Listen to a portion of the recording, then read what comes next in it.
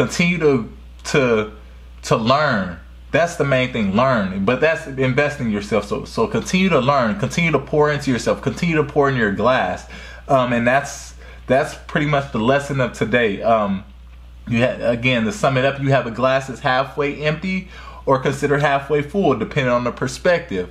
But the perspective I want you to have, the message to my unborn son, the perspective I want you to have is that your glass is always halfway full, and you can always bring it up to 60% full, 70% full, 90% full, 100% full at any time. So the the fluctuations of life, the ins and outs of life, the ups and downs of life don't affect you because you always have a foundation where you're continuously pouring into your glass and pouring into your glass.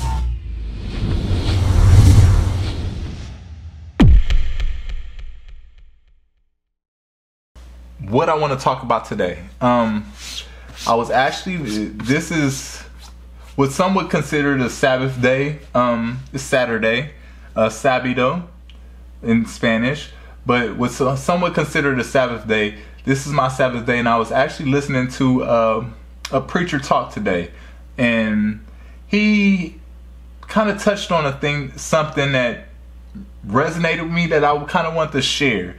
Um, and it's this is not going to be preachy, so the, please don't be turned away. They're not going to be preachy at all. But this is about perspective. So the preacher, and I'm sure everybody's heard this saying before. Uh, you have a glass that's either considered half empty or half full.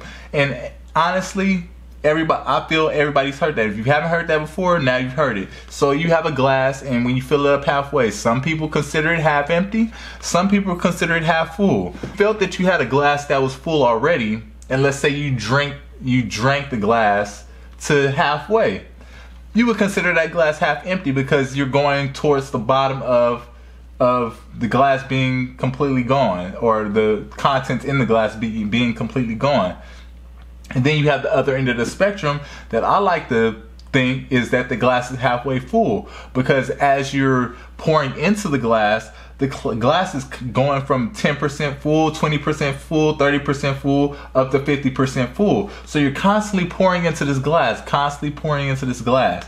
Be mindful of how you perceive life is what I like to say because it kind of, this is why it resonated with me. Be mindful how you perceive life or how you perceive your situation because there are people out here that they considered their glass either half I mean full at one point in time and it became half empty and now it becomes a, a burden upon them or a burden to them that life is unfair or life isn't treating them right or life isn't isn't what it's supposed to be. And it's it's either their something they did to make their glass half full halfway full by taking it from 100% full to halfway full or something somebody else did which from their perspective is something somebody else did that took their glass from full to halfway full. Um because at the end of the day, it's all about perspective, and I really want to enlighten you on perspective. So let's say I were in that situation, my glass became halfway full.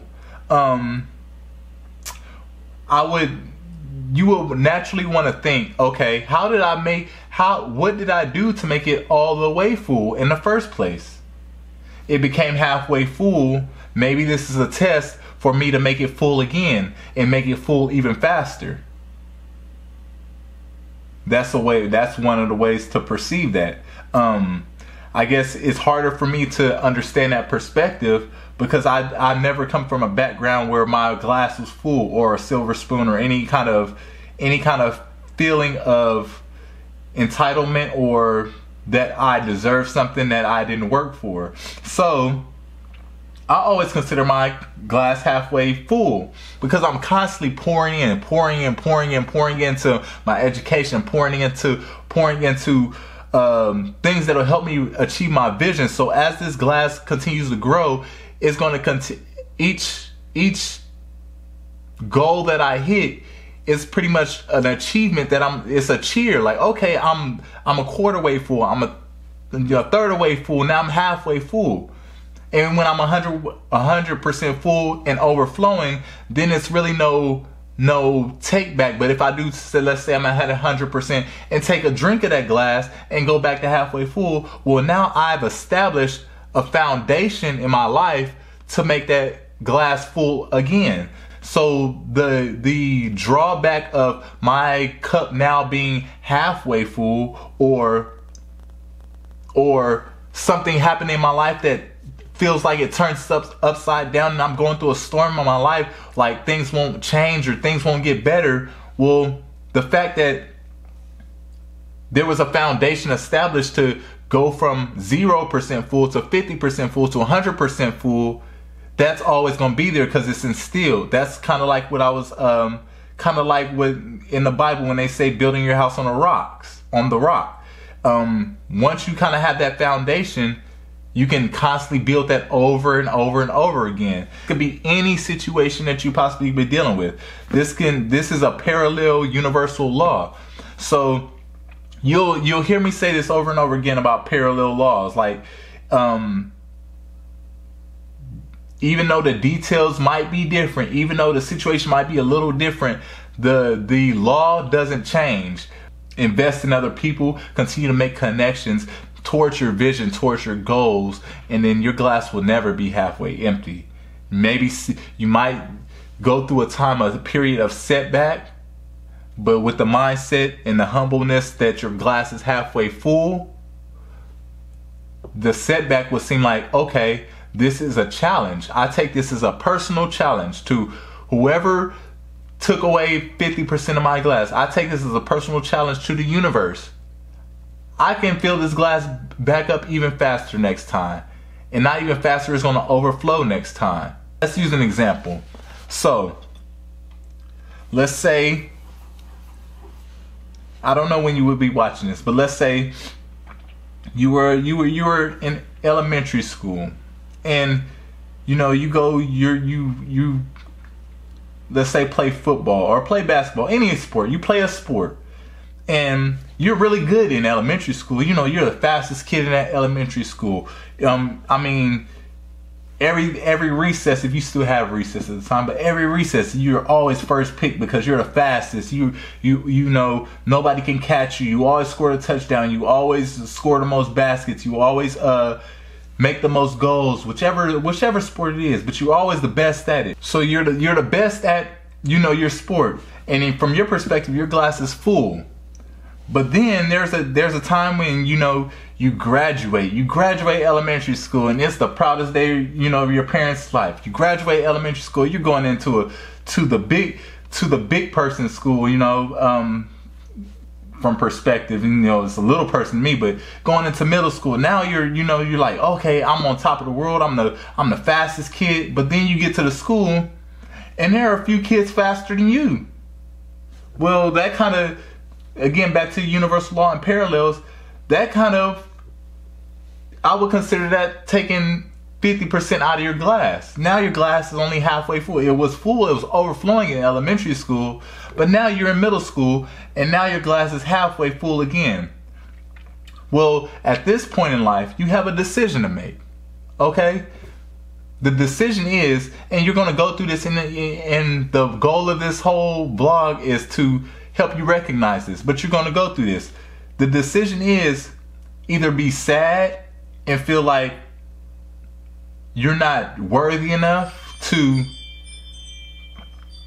it's my a ring um be to either be sad and feel like you're not worthy enough to um to play at recess or play the sports anymore or to take that as a personal challenge because your glass is now halfway full again when you were in elementary school you work to work your glass up to 100%. So you know how to work your glass back up to 100%. So you work, you invest in yourself, you make yourself faster, you network with the people who are faster than you and learn how they're getting fast and learn the things that they're doing. You continuously pour into your glass until it's full again.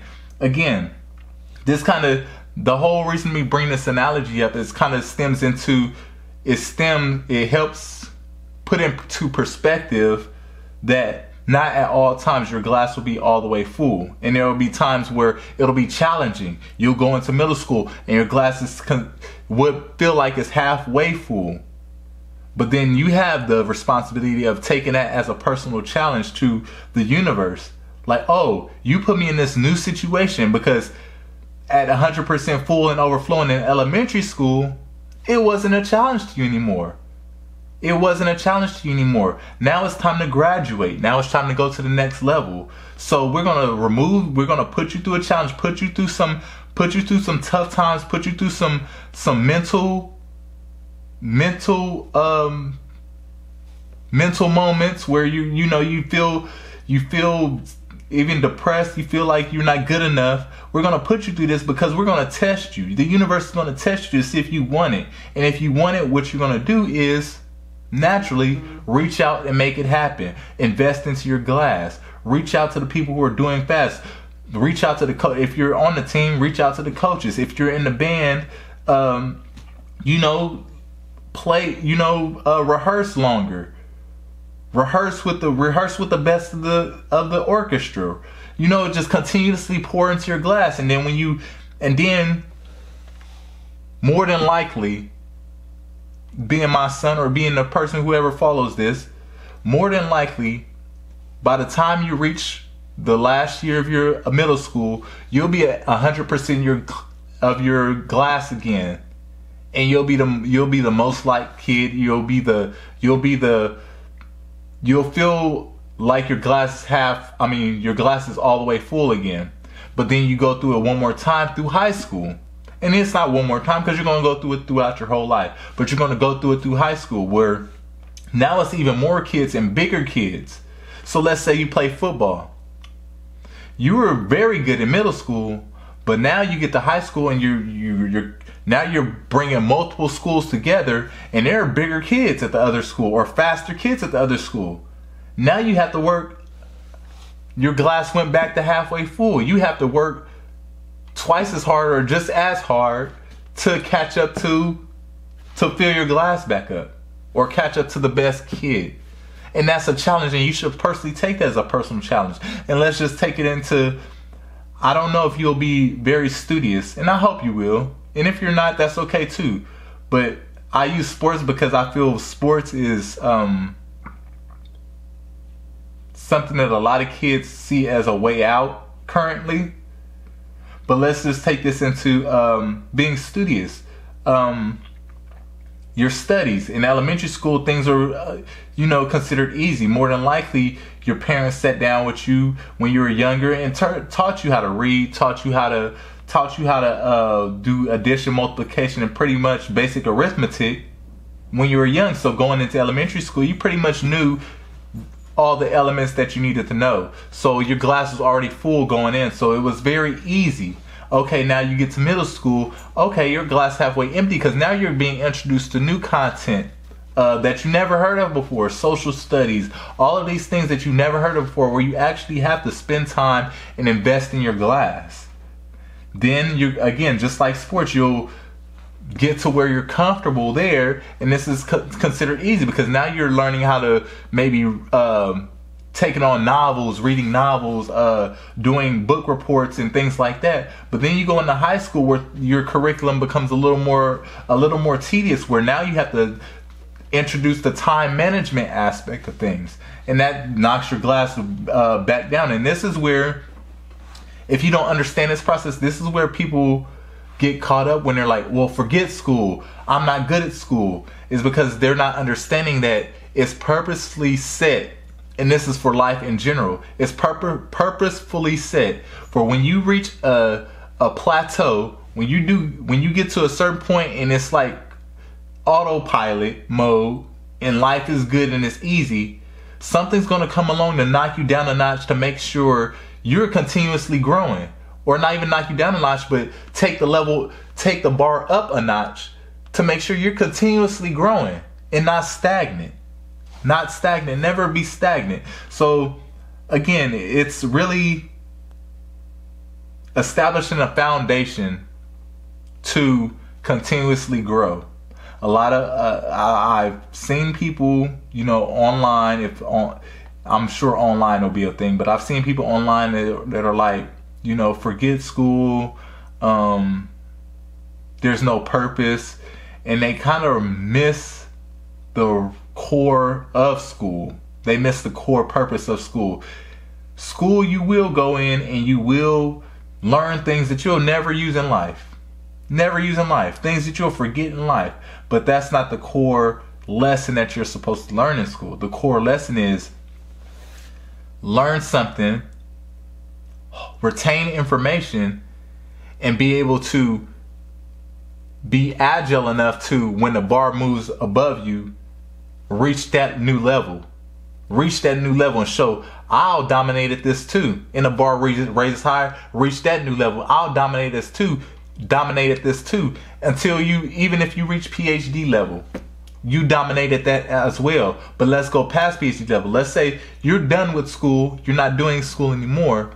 Well, even in life, even if even if even without school involved, you should always be trying to reach the next plateau. You should always be trying to advance yourself to reach next plateau because that is where real um, success lies. Um, currently, I don't know what the what the what things will be like when you're when you're watching this video, but currently a lot of people are being deceived by material things and attention and missing the elevation of themselves and how to elevate themselves mentally, physically, and emotionally for a bigger purpose. Because material things, kind of going back to the glass, filling up the glass, the material things fade away. They're like again, again, you're drinking your glass. You buy you buy this new car, you drunk half your glass. You built you built up your bank account. You bought this car, you drunk half your glass. You bought this house, you drunk another quarter of your glass. Even though that sounds backward. You bought your house, you drunk half your glass. You bought a car, drunk a quarter of your glass. But then you never established a way to fill the glass up or establish a system to bring more money in put more money, put more, put more into your glass to continuous, continuously fill it up. That's where not that's where knowledge comes into play because you find these avenues of how to fill your glass up without working as hard to fill it up. And we'll get into that in, in um, into into later videos Always consider your glass halfway full. Continuously pour into your glass and never give up on your glass. No matter how much you know you, you drink out of your glass or somebody drinks out of your glass, continuously pour into your glass until it overflows. Because the more you pour into your glass, the more the more resources you accumulate to fill your glass up, and it'll fill up that much faster. And then as as the universe and as as as God sees that your glass is filling up, He will more than likely give you a bigger glass or a bigger jug to fill up. And that's blessings upon blessings. So, you know, never consider your glass halfway empty. It's always halfway full, and you always um, you're always striving to fill it up as fast as you can uh, in the most efficient way with a vision towards moving forward or towards advancing yourself. Um, always advance yourself. Um, and never sell yourself short. So, again, I just want to wrap this up and leave this here until we find um, until I come up with another topic. Um, but thank you for thank you for spending time and watching this video. Um, again, this is a message to my unborn son. I really don't have to thank you because you're gonna watch it anyway, and you're gonna live with me and know these things. But again, for any any young man, um, mother who lets their young young sons watch this, thank you for your time and um, again, I hope you're not too critical on my thoughts. Uh, these are my personal opinions. These are my personal thoughts. Everybody else has their own perspectives, own opinions, and you're definitely um, your opinions and perspectives are valued. But for this, for the purpose of this, uh, for this vlog, if you share the same opinion, just hit the like button. Um, and I'll continue to make videos and really I don't want this turning into a platform where it's a back and forth. It's just me sharing what I've learned uh, and the experience that I've learned, and I want to be this to be a positive, continuously positive experience. Um, so, again, don't don't hold my feet to the fire when I might say something that you might not agree with or somebody else might not agree with because it's what I believe. It's my perspective. So again, and I'm continuously learning, continuously pouring it's pouring into my glass. So um, again, I would say let the universe work with me, and again, let the universe work with you as well. Um, but again, thank you for your time, and uh, I look forward to hearing back from y'all soon. Later, y'all.